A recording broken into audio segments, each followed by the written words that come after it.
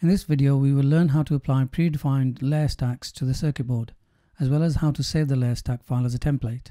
When designing a printed circuit board, typical designs of both double layer and multi-layer boards are often used. The Layer Stack Manager in Altium Designer has the ability to select one of many predefined layer stacks. These are available from the Tools Presets menu. There are stacks of both two-layer and multi-layer boards based on designs and board materials used in everyday electronics. Let's choose this stack for a two-layer board.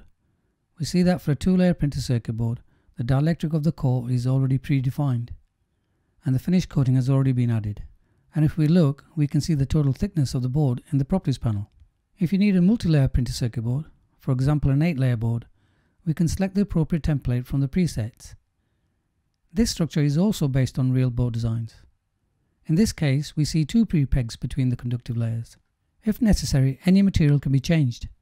For example, let's change the prepeg, the core and the surface finish to ENIG, Electroless Nickel Immersion Gold.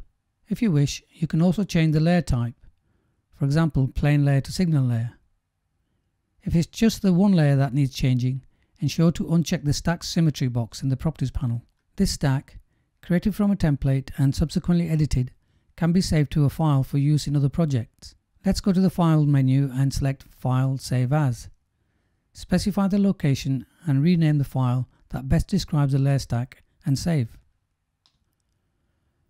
We can use previously saved StackUp files when developing new PCB projects that have a similar layer structure.